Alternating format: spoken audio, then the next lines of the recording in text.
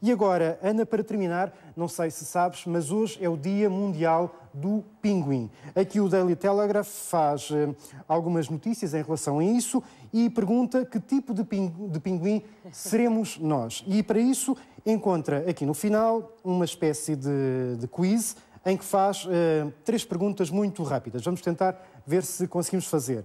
Temos que escolher uma cor, vou escolher o azul. Depois, dentro dos James Bond, vamos escolher um. Vamos escolher, por exemplo, um, o último. Vamos aqui assim. Vamos ver se, se conseguimos. Um, um, sinónimo de frio. Vamos um, aqui assim, glaciar.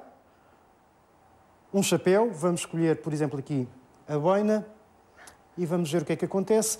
Hum, qual é a nossa, hum, qual é a opção que descreve, por exemplo, a comida para, para alguns animais marinhos? Vamos dizer que totalmente indiferentes e vai-nos dar aqui uma resposta. Vamos esperar um, um pouco.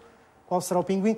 Sou este pinguim, hum, pronto, que é uh, pequeno, perfeitamente uh, uh, uniforme e Pronto, estas são as minhas características. Não, não, não sei, Ana, se mais tarde vais, ter, vais querer saber também que tipo de pinguim serás tu.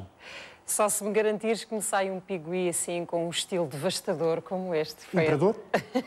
Pronto, então eu faço. Obrigada, Sérgio. Boa noite.